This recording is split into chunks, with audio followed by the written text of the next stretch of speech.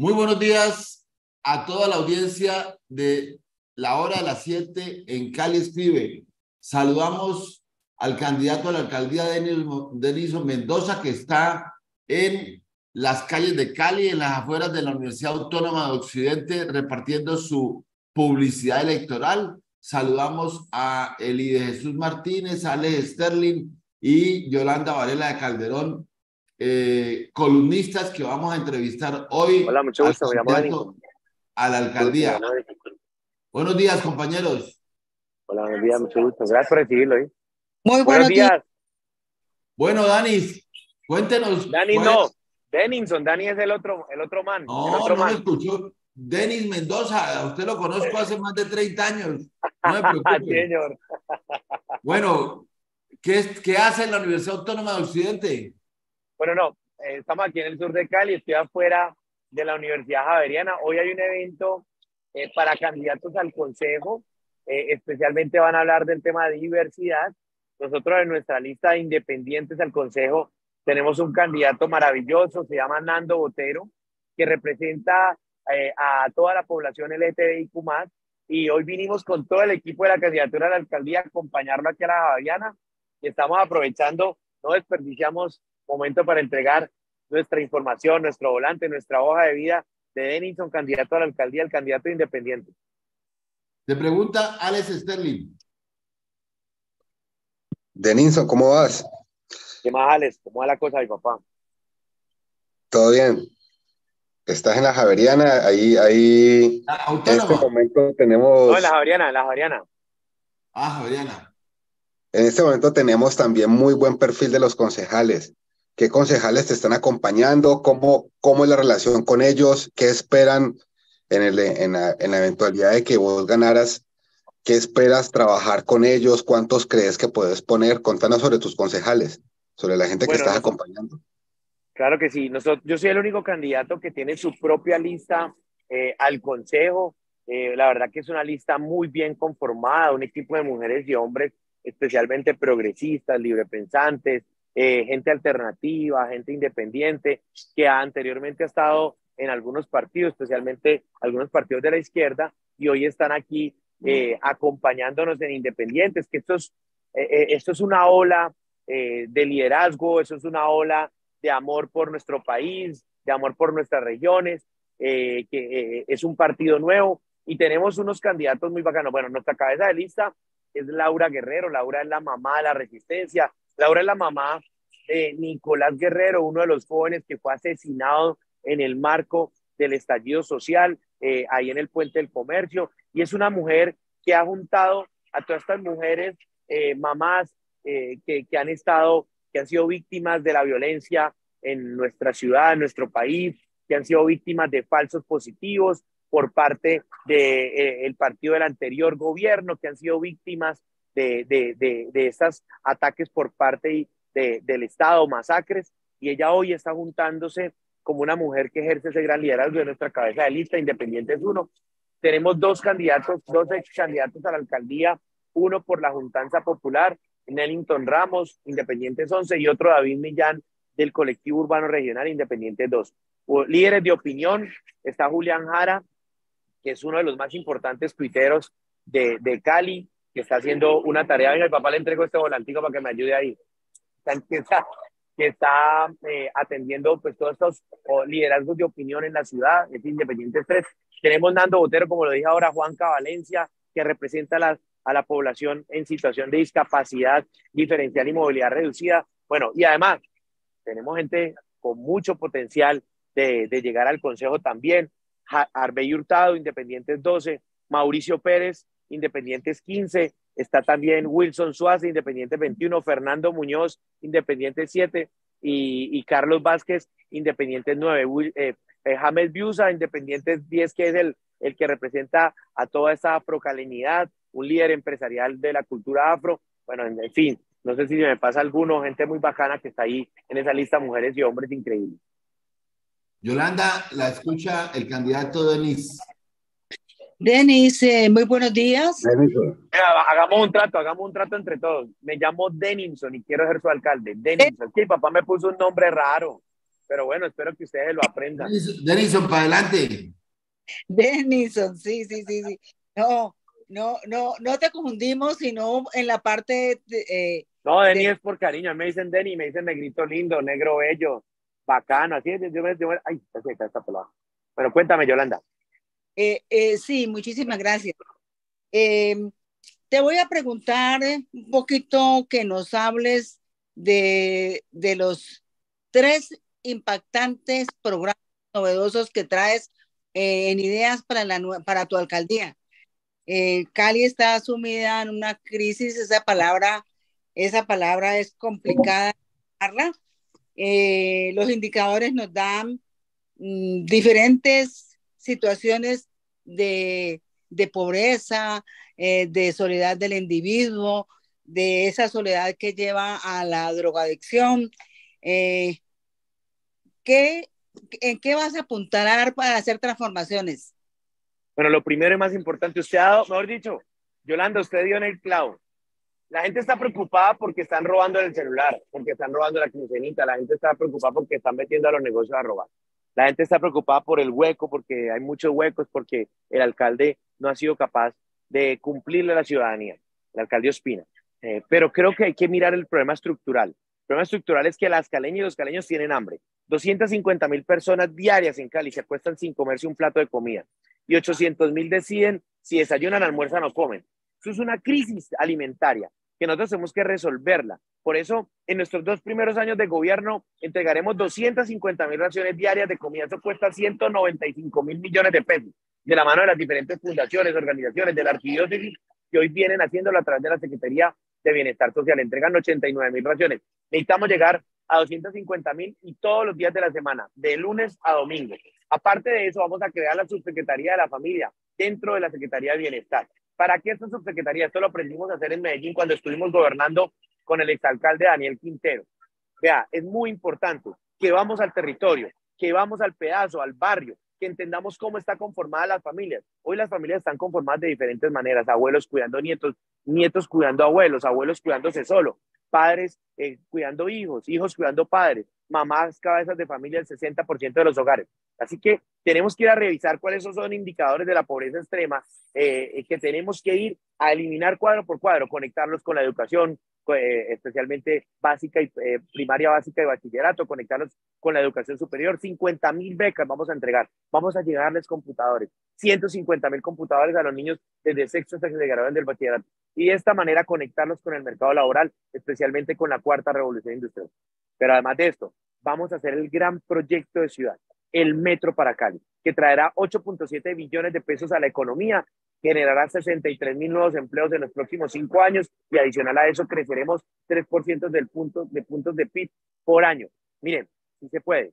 La élite mezquina de esta ciudad nos ha indicado que no podemos tener grandes proyectos. Los países hace 30 años hicieron metro con 1.2 millones de habitantes en el Valle de Aburrá.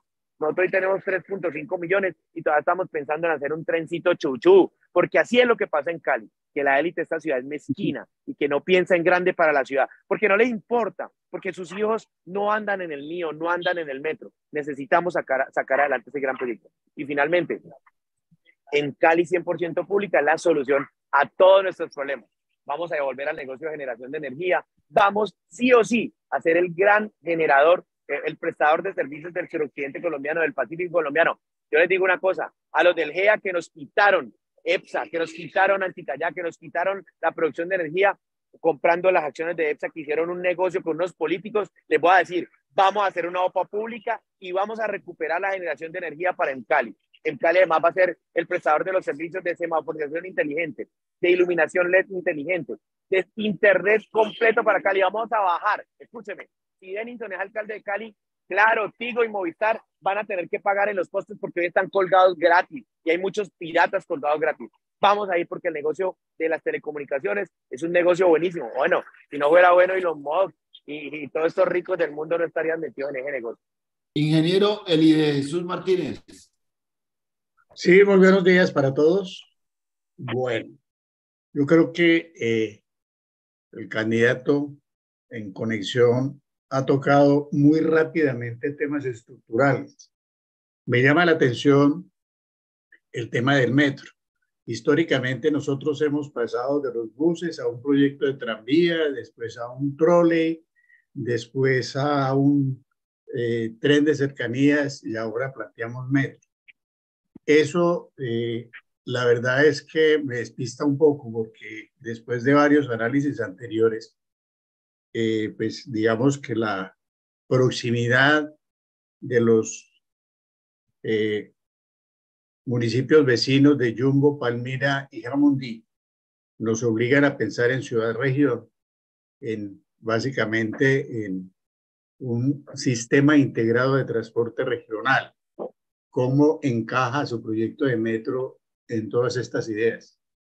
Maravilloso, ingeniero. Miren, lo que pasa es que los ricos de Cali le han cortado a todos los caleños la capacidad de soñar, porque ellos están empecinados en hacer un trencito chiquitico de 6.000, un tren trans, de 6.000 pasajeros por hora, que va a ser como del tamaño de un bus articulado y que además, imagínense, lo quieren privatizar, porque ese es el sueño de todos los cuando, por eso tienen candidato a la alcaldía propio, supuestamente empresario, porque lo que quieren hacer es privatizar los servicios públicos. Mire, ¿Cuál es el reto en el tema del transporte público? Y yo estoy de acuerdo con lo que usted dice. Es, primero, vamos a liquidar Metrocali. Vamos a liquidar los contratos con todos los operadores privados del mío. Vamos a liquidar el contrato de la UTRI. Vamos a liquidar. No, a los operadores privados les quedó grande el transporte público de Cali. Ah, fueron inferiores a la responsabilidad social y política que tenían eh, con Santiago de Cali al meterse en este negocio. Mataron un montón de empresarios chiquiticos que tenían buses, que eran tan efectivos y tan buenos por meter hoy un sistema que nos ha costado 4.5 billones de pesos que no le ha servido a los caleños. Por esos 400 mil caleños usan el transporte pirata. El, mire, el metro de Medellín es un tren de cercanía. Lo que pasa es que esos manes lo pensaron en grande y dijeron, no, pues no vamos a hacer un trencito hagamos un metro pesado. ¿Yo qué estoy diciendo? Hagamos un metro ligero, que le quepan 25 mil pasajeros por hora. El proyecto ya está escrito. Es que mire lo, lo chistoso es. El proyecto Tren de Cercanías está escrito como metro, tiene la capacidad eléctrica de metro, tiene la amplitud para ser inclusive un metro pesado, tiene toda la capacidad para poder avanzar hacia un sistema eh, eh, eh, de que sea la columna vertebral del sistema integrado de transporte público multimodal. El metro va a ser una realidad. Lo que vamos a hacer es la factibilidad que hoy tenemos del tren de cercanías, en ocho meses la vamos a llevar a factibilidad para metro ligero. Y otra cosa, imagínese que usted que es ingeniero, imagine, usted la irresponsabilidad. Estos sinvergüenzas, porque no les puede llamar de manera diferente, quieren hacer un proyecto con una inversión creo que cercana a los 2, 3 billones de pesos, que es lo que ellos proponen en el trencito chiquitico, hacerlo con un estudio de demanda de 2015. Oiga, de verdad, yo creo que Cali merece más líderes, mejores líderes que esos sinvergüenzas que están escribiendo ese, proyecto de tren de cercanía. Uno no puede hacer un proyecto de este talante, de esta envergadura, con un estudio del pasado. Necesitamos actualizar el estudio, que seguramente el estudio nos va a decir que tenemos que hacer un metro ligero y vamos a hacer el metro ligero que quedará construida la primera línea. Yo estoy de acuerdo. Hagamos la primera línea, que es la que más le interesa a los que son los dueños de las tierras por acá en el sur de Cali, y la hacemos Cali-Jamundí. Y después hacemos Jumbo Cali, y después hacemos Cali-Palmira. Por supuesto, Cali es la ciudad nodo de esta área metropolitana. Y lo que principalmente une a un área metropolitana son tres temas, y el doctor Barrera lo sabe. Uno, transporte público multimodal. Dos, una empresa pública de servicios públicos que le preste a toda el área metropolitana. Y tres, convertir a esa, a esa, eh, empresa, esa, esa área metropolitana, esa entidad territorial, en una o esa instancia en la autoridad ambiental para toda el área metropolitana y que le digamos a la CBC, chao, porque usted CBC también le quedó grande Cali, fue inferior a Cali, con todo el daño ambiental que ustedes han permitido que suceda en Cali. Los que hemos vivido al frente de un caño, sabemos que esa no es la manera digna de vivir. Nosotros necesitamos anular todos los que hoy son caños de la ciudad, como ese caño asqueroso que es ese CBC Cauca y ese caño asqueroso que es CBC, eh, Sur, CBC Sur, que se llegan al río Cauca y lo contaminan. El 40% de la contaminación del río Cauca las ponemos los caleños por culpa de una autoridad ambiental que le quedó grande el río Cauca que le quedaron grandes los seis ríos de Cali, por eso vamos a crear otra autoridad ambiental. Doctor Guillermo Joab, por lo que estamos viendo, hemos visto a Denison eh, Mendoza, por energía se gana la alcaldía, por energía se gana la alcaldía. Guillermo Yoa. Eh, buenos días eh, a todos, Ramiro. Denison, muy buenos días, me encanta verte ahí en la calle. Y como dice Ramiro, eh, eres el primer gran generador de energía de la ciudad. Felicitaciones. Veo, Denison, una cosa muy interesante que es un programa de mucha inclusión social. Sin embargo, eh, estoy percibiendo que tienes un tema frente al sector empresarial, frente al sector productivo, al sector privado, que lo quieres estigmatizar, pero no te olvides que de alguna manera tenemos que bailar juntos, sector público y sector eh, privado y sector fundacional.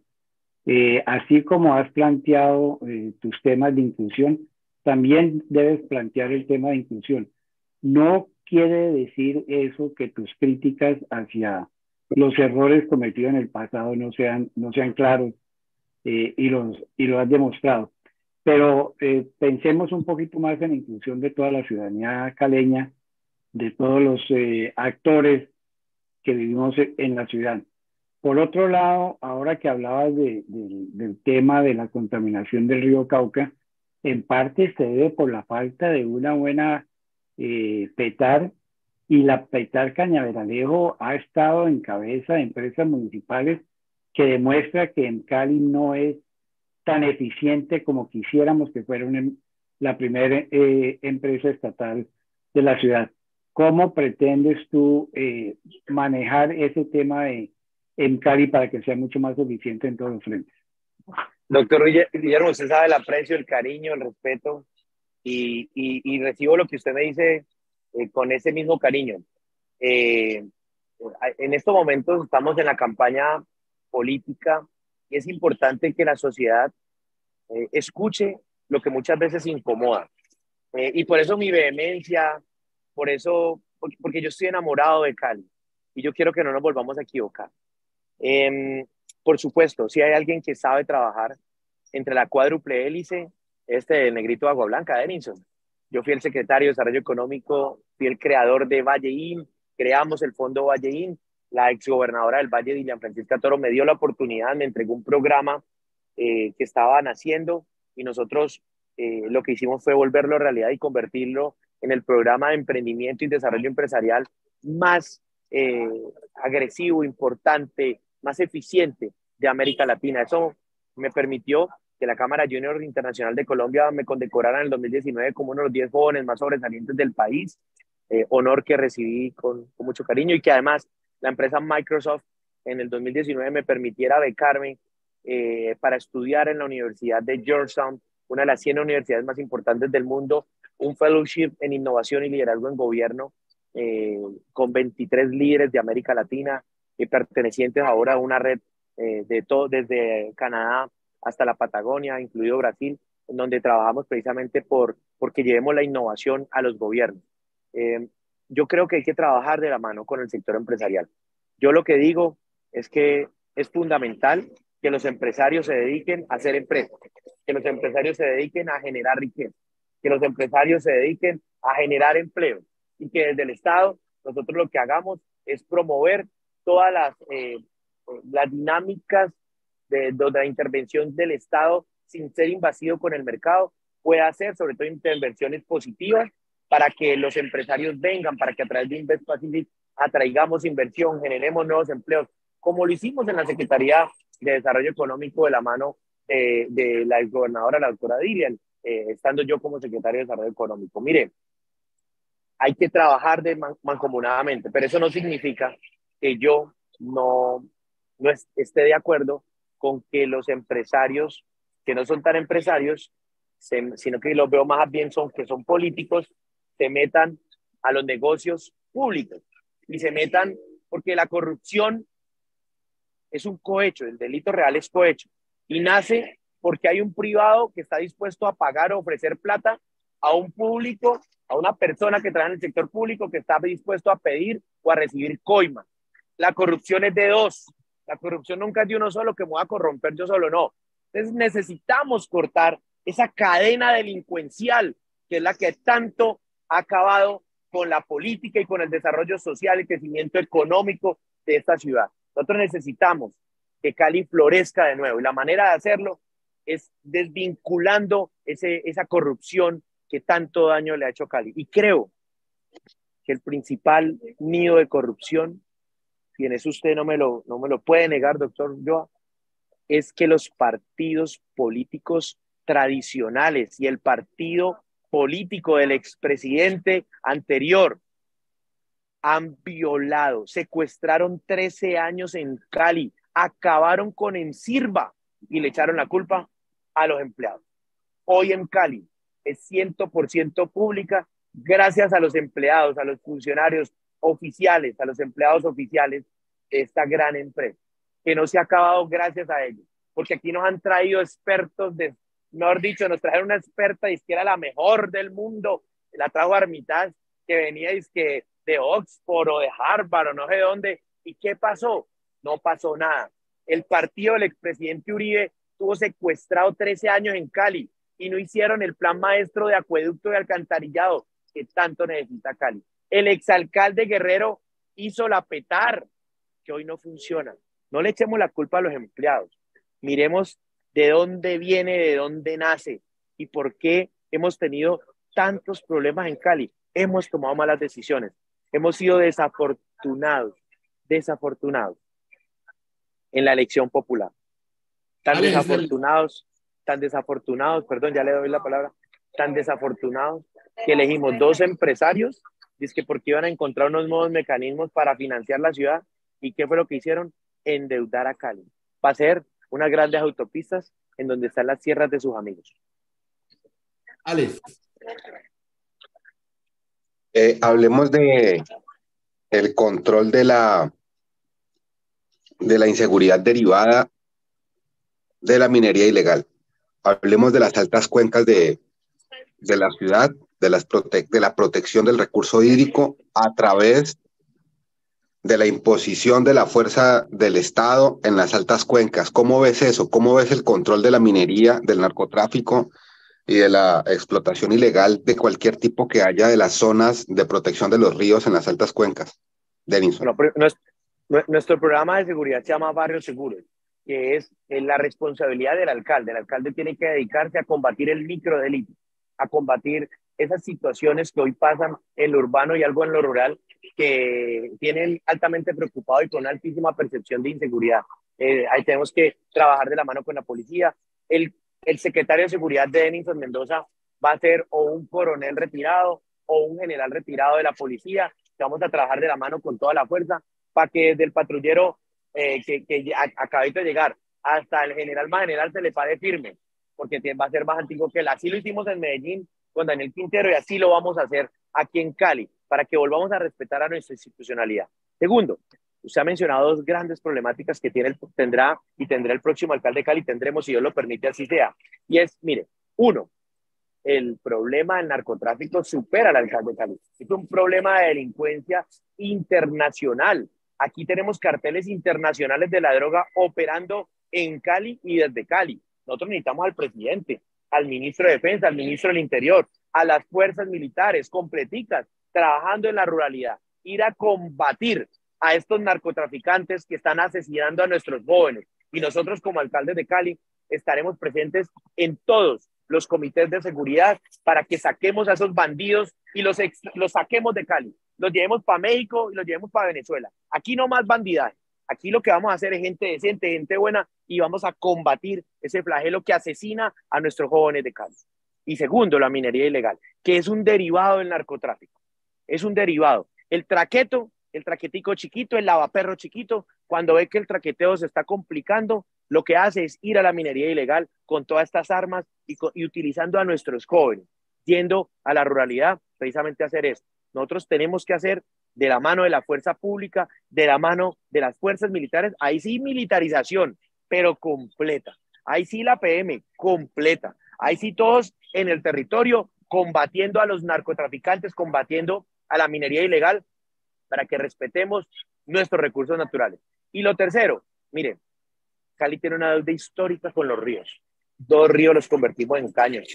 Que yo soy muy crítico del tema de los caños porque me disculpan, ¿sí me entiendes? Yo pues, yo no, yo no digo que uno tiene que haber nacido al frente de un caño para tener esa sensibilidad, pero yo nací al frente de un caño, el caño de Santa Elena, y eso no hay dignidad ahí. No hay dignidad. Nosotros necesitamos cerrar todas las cochinadas de la humanidad que solamente existen en esta ciudad, porque en Cali no ha tenido ese plan maestro de acueducto y alcantarillado que permita cortar todos esos vínculos que hoy se tienen con los ríos, con esos canales de agua lluvias que fueron creados precisamente para secar el distrito de Agua Blanca y para secar esas zonas que antes eran utilizadas como caña de azúcar y que ahora eh, se llevaron a toda la pobreza extrema para, para la ciudad de Cali, para esa parte de la ciudad de Cali. Nosotros necesitamos reforestar todo el cauce de los ríos y lo haremos de la mano con una Encali renovada, una Encali 2.0, con tecnología, con innovación y con nuestra nueva autoridad ambiental como distrito especial y como área metropolitana. Guillermo Ulloa lo escucha Denison Mendoza.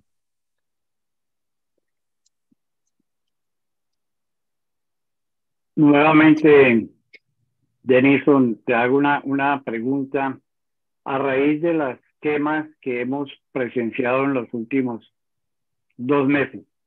¿Cómo vas a, combatir no solamente esas invasiones ilegales y esa eh, destrucción de, esa capa vegetal de los cerros tutelares? Eh, ¿Qué programa de vivienda eh, le presenta a la ciudad? Bueno, lo primero, que usted toca dos temas fundamentales que están en nuestro programa de gobierno de la Cali Futuro. Eh, hemos hablado inclusive con el actual secretario de Seguridad, estuvimos muy atentos después de, de las quemas de estos bandidos, eh, que no les puede llamar de otra manera diferente. Eh, le contamos porque la, la, gente en el territorio nos decía, Denison, ya están pasando retro. Yo le mandé eso muy temprano al secretario, el secretario me dijo, Denison, ya lo estamos atendiendo. Y yo creo que el secretario de Seguridad han hecho una tarea de la mano con la policía eh, y yo además reconocer a nuestros bomberos, que es uno de los más importantes cuerpos de bomberos de Colombia. Ojo, hay que hacer dos estaciones de bomberos más, ¿no? Y las es un reto que tiene el próximo alcalde. Eh, tres, cuatro estaciones, ¿no? Cuatro estaciones, perdón, cuatro estaciones de bomberos más para que podamos atender todas las problemáticas del área metropolitana en conjunto con los otros cuerpos de bomberos. Pero mire, en el pasado, todas las invasiones que vemos venían porque, y usted lo sabe, ustedes lo saben, ustedes lo saben todo, porque teníamos concejales que se dedicaban a traer gente de afuera para tener nuevos votos, porque así fue que crearon estos nuevos, estas nuevas industrias y empresas electorales, eh, invadiendo tierras, loteando nuestros cerros y haciéndolo esto de manera indiscriminada. Hay que combatir ese delito desde la base primaria, desde donde está, Hoy hay carteles de este tipo de negocio fraudulento que se apropian de tierras, que toman lotes baldíos, que toman lotes de propiedad del Estado, que toman parte de nuestros bosques, los queman y hacen eso. Hay que crear un cuerpo élite con la Policía Nacional, con el Ejército de Colombia, con nuestra Secretaría de Seguridad, para permanentemente estar levantando cualquier tugurio, cualquier invasión que vayan a hacer en la ciudad de Cali, en cualquiera que sean nuestros cerros o en, la, en, en los cauces de nuestros ríos. No podemos permitir más eso por la seguridad de ellos. Pero no le pueden levantar si no les da solución, porque además hay un dato que me preocupa muchísimo. 19 familias diarias llegan a Cali provenientes de diferentes partes del Pacífico y del suroccidente colombiano desplazados por la violencia. Necesitamos atenderlos son nuevos ciudadanos. Yo me sueño una, una ciudad de propietarios. Lo principal, y lo dije ayer, y no quiero politizar una, eh, una crisis, un momento tan difícil, eh, y lamentamos la muerte del el capitán de la Fuerza Aérea, una Fuerza Aérea que yo adoro, que yo amo, inclusive y tú eres cercano a ser, a ser eh, oficial de la Reserva de la Fuerza Aérea, yo adoro la Fuerza Aérea, pero yo creo que la pista de guerra de la base aérea ya cumplió su tiempo en Cali. Presidente Gustavo Petro, se lo imploro casi de rodillas, saque la pista de la base aérea de la tercera ciudad más importante de Cali, llévensela para el aeropuerto. No se lleve la base aérea, no, hay que queden esas, esas casas. de oficiales maravillosas que viven ellos y todas las comodidades que tienen. Creo que está muy bien. La de Mavi, creo que es una vaina fantástica. Pero convirtamos eso en un gran bosque como el Parque Simón Bolívar, un gran parque para el disfrute de las ciudadanas y los ciudadanos y crezcamos nuestra eh, eh, capacidad de espacio público por habitante que hoy en Cali está inferior a 3, a 3 metros por, por metros cuadrados por habitante. Nosotros hoy queremos que eso se convierta en un gran parque, que esa pista de dos, casi dos kilómetros se convierta en el salsódromo de Cali, una arena del arte y la cultura para hacer la Feria de Cali, el Petronio Álvarez, el Festival Mundial de Salsa. Ojo, que no son solo eventos, deben ser procesos, que además son los procesos que más turistas traen a Cali. Lo dicen las encuestas, deja de Cali, ¿cómo vamos? Dice eso, que la gente viene para eso. Y finalmente, cuando saquemos esa pista la base aérea que va a ser en nuestro primer año de gobierno, gracias al presidente Gustavo Petro, que llegaremos a un acuerdo con los generales de la Fuerza Aérea que ellos están de acuerdo, vamos a crecer en densidad habitacional. La comuna 7, la comuna 6, la comuna 4, la comuna 5, la comuna 8 serán los nuevos proyectos de crecimiento de la ciudad. Yo le hago una pregunta. ¿Cuántos edificios de 30 pisos tiene Cali? Solo uno, la Torre de Cali. Pereira tiene, Bucaramanga tiene, Barranquilla tiene, Medellín tiene, Bogotá tiene, Cartagena tiene. Nosotros no tenemos, porque si usted va a construir un edificio de cinco pisos en su casa, una casa de cinco pisos, tiene que mandarle una solicitud de requerimiento al general de la Fuerza Aérea. No es justo. No es justo porque Cali, la Constitución dice que somos una entidad territorial autónoma y la autonomía no tendría que permitir este tipo de, de situaciones que pasan hoy en la ciudad de Cali. Cali será una ciudad de propietarios. Necesitamos llegar a la mayor cantidad de viviendas. Hay proyectos hoy que están generando vivienda. Por ejemplo, mire, el proyecto más ambicioso de vivienda en Cali quiere generar 7.000 nuevos, em, em, nuevas unidades de vivienda, que es eh, Ciudad Paraíso. Pero si ustedes ven a dónde están llevando los habitantes de Cali, para Candelaria, para Palmira, eh, en todas esas zonas de expansión, eh, creo que tenemos que contraer la ciudad para poderles tener una oferta de servicios públicos y de movilidad pública mucho más efectiva. 7 de la mañana, 34 minutos en la hora las 7 de Cali escribe. Les pido el favor, brevedad a todos, porque el candidato Denilson Mendoza estará en una reunión en la Universidad Javeriana dentro de 10 minutos. Yolanda. Eh, de, Denison, eh, hay, los problemas son multifactoriales, pero hay uno que me, me, me asalta y es los programas inconclusos, las obras inconclusos, las mega obras eh, que, fueron cobradas y no, y no se construyeron. Eh, eh, en educación hay mucho tema que, que, decir con respecto a ingreso permanente. Hay la, la, raíz de toda la circunstancia es la, la, falta de planeación. No hay una planeación a largo plazo que nos diga cómo va a ser esta ciudad en 40 años. Entonces, claro, así esta ahorita es muy apretada para que eh, tú, que eres un torrente de ideas, eh, puedas realizar eh, todo lo que dices. Cuando Ospina te, te, deja la olla raspada, está endeudada la ciudad, no en esa crisis financiera, ¿de dónde vas a sacar plata? Bueno, ya, Yolanda, mire. ¿Aló? Adelante.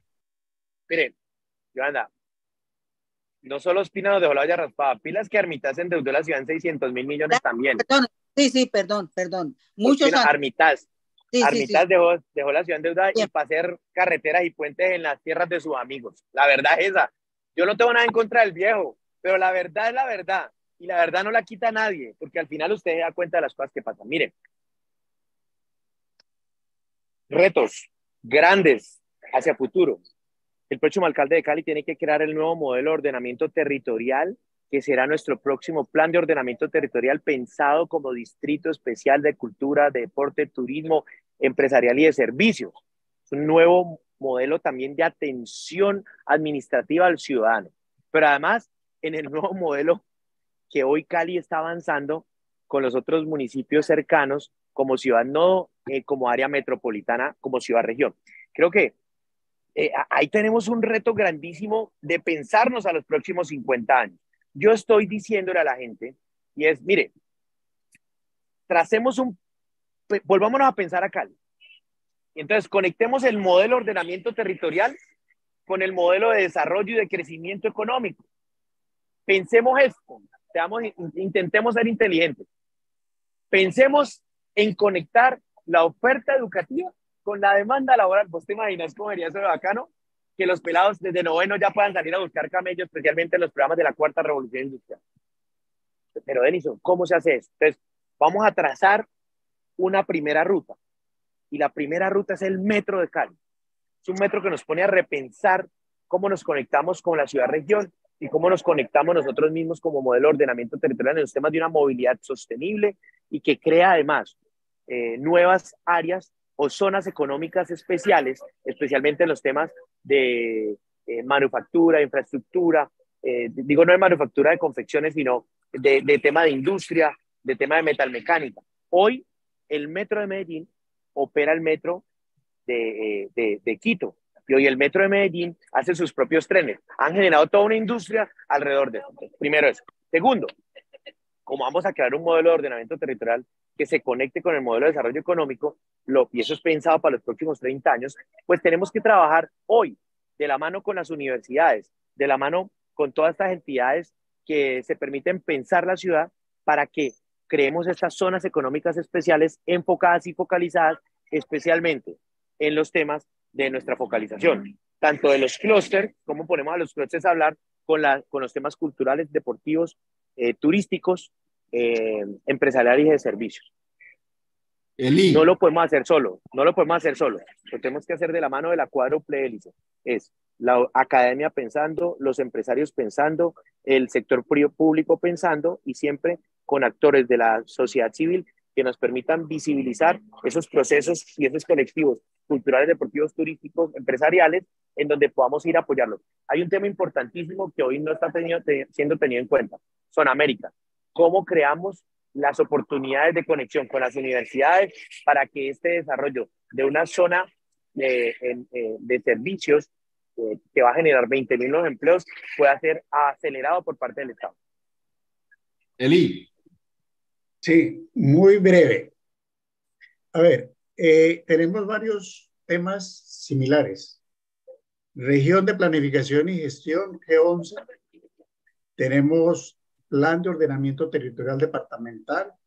Tenemos iniciativa, pues ya una realidad, Cali Distrito, y ahora la iniciativa del área metropolitana sur del Departamento Norte del Cauca. ¿Cómo encaja eh, eso, todo eso en lo que acaba de mencionar? Claro que sí, es como tenemos el reto del nuevo plan de ordenamiento territorial, no lo pensamos solamente como un plan a 12 años, sino cómo nos inventamos un mm. modelo de ordenamiento territorial que tenga en cuenta esas variables que usted menciona. Yo el G11 lo dejo para un lado. Yo el G11 no lo, no lo trato más. Yo trato la realidad. La realidad de Cali Distrito, pensémonos otra vez, la realidad de área metropolitana, las, el reto que tenemos con Chumbo para, para convencer a los yumbeños que quédate quieto, me gordo. El reto que tenemos, el reto que tenemos con los yumbeños para que se, para que acepten conectarse al área metropolitana y con el próximo Consejo Distrital eh, repensarnos eh, el modelo de atención administrativa. Creo que esa manera se habla. Pero quiero cerrar una cosa que no se la respondí a Yolanda y es, hay que, lo, que pasa es que los que nacimos en barrio popular y los que hemos sido emprendedores sabemos refinanciar. Esas deudas hay que refinanciarlas, tenemos que sentarnos con los bancos. ¿El banco qué quiere? Que le paguen. ¿sí? Y, y el próximo año, si nosotros le pagamos al banco, no comemos.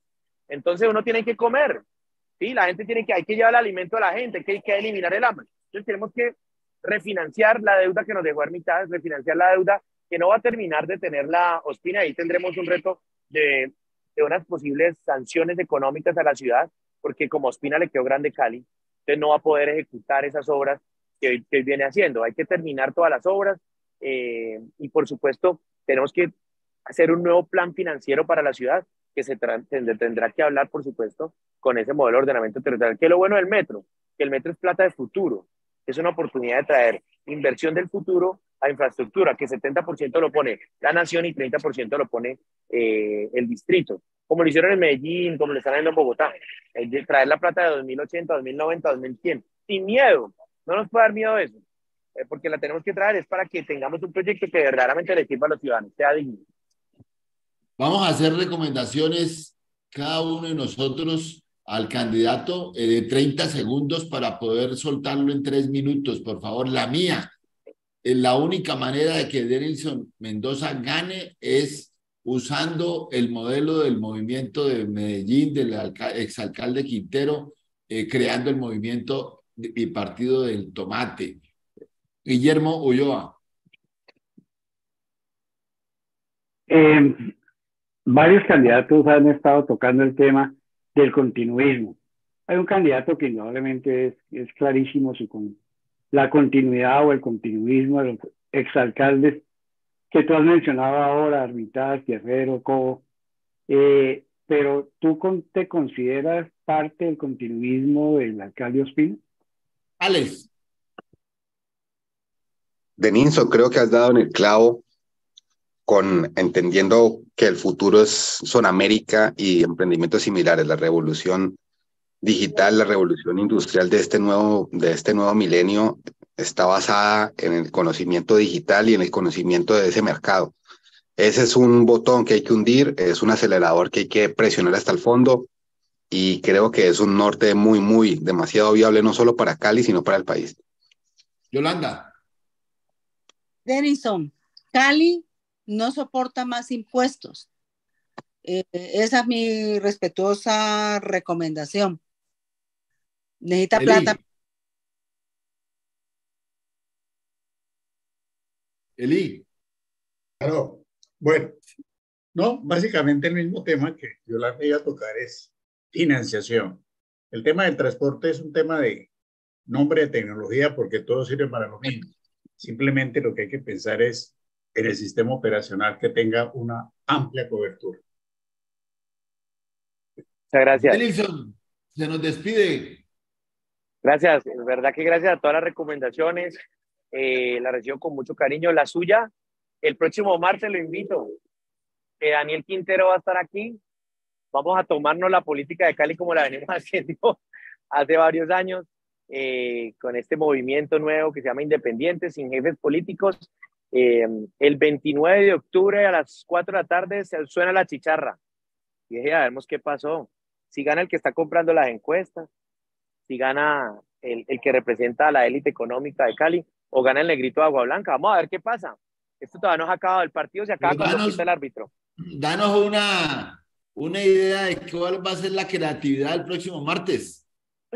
No, no, no. Ahí, van, ahí nos vemos. Ahí nos vemos para contarles eh, todo lo que estamos haciendo. Esto es un sueño de país un país que verdaderamente cambie, no cambie de, solamente desde el tema de las ideologías políticas o ser sectarios, no, yo creo que al final sí necesitamos una unidad y, Cali más que nadie la necesita, eh, pero, pero no podemos permitirnos, no podemos permitirnos eh, que, Cali, que, Cali vaya hacia el pasado, Cali tiene que ir hacia adelante y nosotros, Denison Mendoza y el, el Partido Independiente y todos nuestros candidatos al Consejo y candidatas nos parecemos al futuro.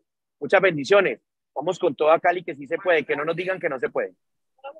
Muchas gracias, Denison Mendoza. muchos éxitos. Sigo repartiendo volanticos. Hola, vale, nosotros seguimos acá brevemente. Eh, Guillermo, Alex, Yolanda, Eli, eh, eh, voy a proponer lo siguiente, porque hay algo que me preocupa mucho. Ayer y hoy, Alex Sterling ha hecho una, una propuesta muy interesante sobre no lo ha dicho, pero es implícito para nosotros los caleños, el Parque Nacional de los Farallones y los dos candidatos de ayer y de hoy para nada han resuelto ello. Si yo fuera alcalde de Cali, el Parque Nacional de los Farallones lo sacaba con el gobierno nacional a una licitación pública internacional de entregarlo 100 años a una multinacional de reforestación y de turismo ecológico de desarrollo económico, de desarrollo social eh, gigante, de una inversión gigante, términos de referencia que hace la ciudad, que hace la nación. ¿Ustedes qué piensan al respecto? Porque veo, veo a, a, todos en lo mismo, derrotar la minería ilegal, ta, ta, ta, pero nada de fondo. Guillermo, ¿qué opinas al respecto? Pues lo, escribí el fin de semana pasado cuando sugerí como proyecto de ciudad eh, el Gran Parque Fénix, que son las 260 hectáreas que fueron eh, quemadas, incineradas, incendiadas en los últimos dos meses. Yo creo que ese, ese es el comienzo, porque además de eso hay invasiones ilegales. Y, eh, tú tocas un tema y, y, Alex lo ha venido tocando. Yo creo que toda la mesa lo ha tocado, que es eh, la ineficiencia e inoperancia de lo que son parques nacionales. Ahí no hay, no hay guardabosques, ahí no, están detrás de, del, del tema de la minería ilegal. En el en el, corregimiento de Pichindé hay una gran empresa de minería ilegal cuyos ingresos anuales se estiman en 30 mil millones de pesos. ¿Cómo vas a acabar tú con eso? Muy complicado. Dejo esa, esa inquietud en la mesa. 200 mil hectáreas tenemos los caleños allí, 200 mil hectáreas, eh, de las cuales el, como el 60% son nuestras, el resto es Dagua y Buenaventura. Eh, Alex Sterling. Además, además tenemos la posibilidad, como dice Guillermo, de reforestar y de crear una estación de del jardín botánico. El jardín botánico es bellísimo, pero está, digamos que en el costado izquierdo del río Cali. Izquierdo mirando hacia las montañas, uno desde el valle, ¿no? Pero el costado derecho, que es donde han ocurrido varias quemas, está totalmente libre y la única manera de que eso sea protegido, como, como ya estamos aquí dilucidando, es dándoselo a un operador que genere ingresos y que con esos ingresos pueda pagar seguridad privada, porque la verdad no veo otra. El ejército puede hacer presencia eventual, pero el ejército no puede permanecer ahí. No es, el, no es la tarea del ejército colombiano estar en la punta de una montaña, tiene que recorrer todo el país. Si, si, si no es con operadores privados, tampoco veo cómo pueda solucionarse entregárselo a un operador privado internacional, porque yo no veo nacionalmente quién sea, y que apropie a todos los colegios de Cali, de Agua y Buenaventura, los apropie del Parque Farallones. Yolanda. Eh, hay varios modelos mundiales. Eh, conocí uno importantísimo en los Estados Unidos, en Carolina, en Carolina del Norte, donde prácticamente eh, a, en el área donde estaba una institución bellísima que yo no sé por qué replicado, la, a nivel mundial, el Opportunity School, donde van los niños, los jóvenes más bien que han delinquido y les hacen una completa rehabilitación y de allí salen guardabosques con sueldo propio, donde existe una empresa privada que para ingresar a esos parques hay un, hay un, eh, un semáforo, un, ¿cómo se dice? Un peaje y hay una capacidad de carga. Caben, por decir algo, caben mil carros, mil, un carro no cabe. Entonces, yo no sé, es perderle el miedo a esta forma, porque si hay que tomar decisiones por el agua, Cali se va a quedar sin agua. Ese es el gran problema eh, de protección de los animales y de protección del ambiente. Creo que, que quien gane alcaldía le va a tocar ir a conocer dos o tres modelos a nivel internacional, porque el problema es que muchos de los, de los, de los que ganan no conocen a fondo lo que pasa en otros países, pero sí se puede hacer. Maravillosa idea. Y hay modelos, no hay necesidad de inventarse nada. Eli. A ver, me parece que, es un proyecto interesante. A ver, eh, nosotros tenemos dificultades para intervenir el suelo para construcción de vías hay dificultades para producción agropecuaria y hay una oportunidad básicamente de recreación forestal. Pues sí, un proyecto internacional donde el único medio de acceso sea un teleférico elevado, para eso no hay ningún problema, y un mixto en el sentido de que puede ser básicamente para turismo y para fines agropecuarios. Es algo que en el, con el alcalde Rite pensamos en la zona de montaña donde básicamente hay mucha producción. Eh, obviamente no hay la misma oportunidad turística, pero hay mucha producción, sobre todo frutales, que se necesita que se trasladen al casco urbano de Palmira. Se hicieron varios sondeos y sí, efectivamente hay firmas internacionales que pueden, con ese proyecto, eh, generar muchos recursos para hacer inversión en protección forestal. Guillermo, siguiendo con la evaluación del candidato de Elison Mendoza, ¿Qué otra opinión podemos tener? Eh, ese es un generador de energía impresionante. Yo creo que el Cali no necesita más generadores de energía, con él es más que suficiente. Eh, pero sí, aunque no obstante está muy enterado de la situación de Cali, electoralmente lo veo muy pobre. Yo creo que son ideas, son proyectos, son eh, propuestas de ciudad, pero electoralmente no tiene un caudal que lo pueda llevar a más allá de un quinto o sexto lugar. Así es, Alex. Creo que al igual que Diana, y de pronto Diana llegó a pensar otra cosa, eh, eh, Denison está haciendo, está poniendo bandera para una futura carrera política en Cali. Recordemos que está recién desempacado de Medellín, viene de pertenecer a la administración paisa y está, parece muerto de, ganas de, de, implementar muchas ideas y muchos modelos de organización que ha visto por allá, ¿no? Yo lo veo como eh, la presentación de una, de, una, de una carrera política futuro. Él en el fondo sabe que tiene pocas probabilidades, pero si llega vivo hasta el final puede hacer muy buena campaña para, para lo que quiera hacer en el futuro, consejo, alcaldía, gobernación. Eh, hay para escoger. Todo depende si saca consejo o saca asamblea. Si no, está out. Alex. Es cierto, es cierto. Tiene bastantes concejales. Yo le pregunté, ¿viste que me dijo como ocho? le conté yo. Sí, tiene una lista larga. Bueno, Yolanda, su opinión de Denison Mendoza.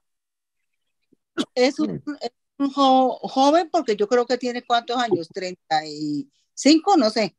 Eh, ah, bueno, aparenta menos por lo que está con juventud, pero eh, le falta aterrizar más ideas. Eh, eh, creo que las ideas eh, uno debe basarlas en estudios de factibilidad eh, financiera y estudios de factibilidad pues aterrizado al territorio. Son buenas ideas que podrían, podrían encontrarse algún camino real. sí, puedo, todo depende de cómo le vaya con sus concejales. O si no, el hombre out. Eli. Bueno, lo interesante es que si no queda y de todas formas logra unos buenos escaños en el Consejo, sería interesante es que se hiciera nombrar dentro de la administración que llegue como secretario de Desarrollo Económico y Tecnológico. Yo creo que es una oportunidad para impulsar ese tipo de proyectos que sería la semilla para que pues, en unos años pudiera ser un alcalde importante de la ciudad. Sí, esa es una muy buena eh, propuesta siempre y cuando se una con alguien.